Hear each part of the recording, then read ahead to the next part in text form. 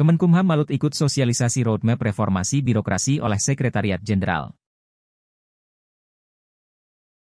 Sejen Kemenkumham RI melakukan sosialisasi peta jalan. Reformasi birokrasi kepada seluruh kantor wilayah dan unit pelaksana teknis di seluruh Indonesia.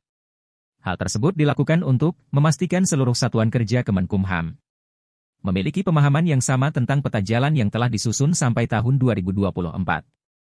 Kanwil Kemenkumham Malut mengikuti jalannya sosialisasi dari ruang rapat lantai 2, Kamis, 22 Juni 2023. Yang diikuti oleh Kakanwil, M. Adnan, Kadif Administrasi, Andi Basmal, Kabak Program dan Humas, Irwan Kadir. Kabak Umum, M. Kasim Umasangaji serta staf pengelola aplikasi reformasi birokrasi. Biro Perencanaan Setjen Kemenkumham RI, selaku pelaksana kegiatan dalam paparannya menjelaskan, bahwa hasil evaluasi Indeks Reformasi Birokrasi Kemenkumham tahun 2015 hingga tahun 2021 mengalami kenaikan dari angka 70.03 menjadi 79.55. Namun pada tahun 2022 berjalan, nilai indeks yang kita harapkan justru turun 63 poin dibandingkan tahun sebelumnya, 2021.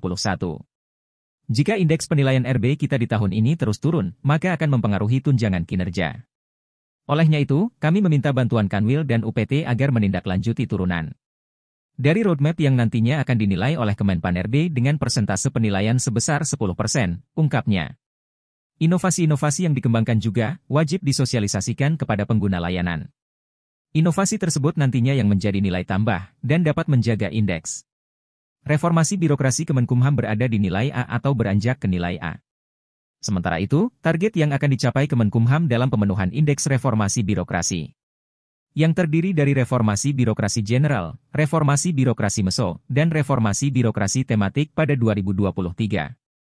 Yakni 82 poin, sementara tahun 2024 ditargetkan memperoleh indeks 84 poin. Kakanwil M. Adnan saat ditemui menyampaikan, serta mendorong seluruh jajarannya agar dapat memenuhi seluruh rencana aksi lembar kerja evaluasi pelaksanaan reformasi birokrasi Kemenkumham. Guna perbaikan birokrasi berkelanjutan serta peningkatan kualitas pelayanan publik. Sementara Kadif Administrasi, Andi Basmal meminta para operator terus memantau perkembangan pengunggahan data dukung pada aplikasi RB. Perlu diketahui, pemerintah saat ini tengah mendorong seluruh K-Liter Pemda untuk melaksanakan reformasi birokrasi dengan acuan Permenpan RB nomor Maret 2023, tandasnya.